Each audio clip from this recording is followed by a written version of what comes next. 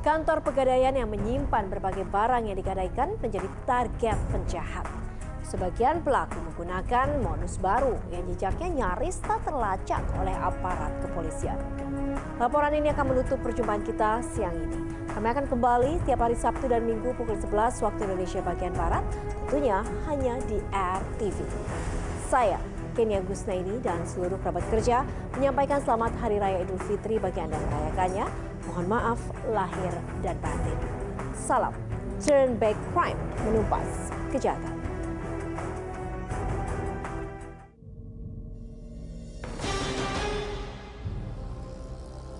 Kami menuju kawasan Cilodong, Depok, Jawa Barat. Kantor pegadaian yang beralamat di Jalan Raya Bogor merupakan salah satu kantor pegadaian yang dibobol komplotan penjahat. Total nilai kerugian seluruh korban hampir 2 miliar rupiah. Dari laporan kantor Gadai Cilodong, kepolisian berhasil menangkap komplotan spesialis pembobol kantor Gadai. Tercatat ada tiga kantor serupa yang pernah dijarah pelaku. Kamera CCTV yang dipasang di kantor pegadaian cukup menggambarkan bagaimana pelaku demikian rapi menjalankan aksinya. Salah seorang pelaku yang menggunakan penutup wajah mengambil kursi agar dirinya bisa mematikan kamera tersembunyi. Tercatat dua kali ia melakukan hal serupa, tepatnya di lokasi kamera dipasang. Keberadaan pencuri di kantor pegadaian jelas mengagetkan karena pintu luar kantor pegadaian tidak terdapat kerusakan.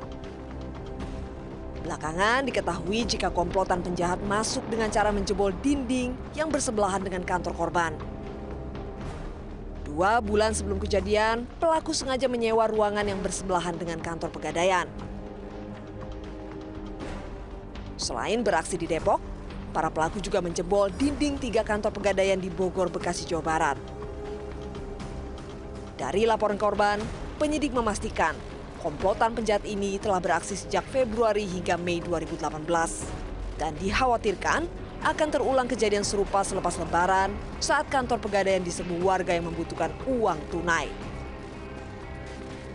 Dari Depok, Jawa Barat, Felicia Wu, Indra Bramantio, dan Aji Atmoko, Turn Back Crime, RTV.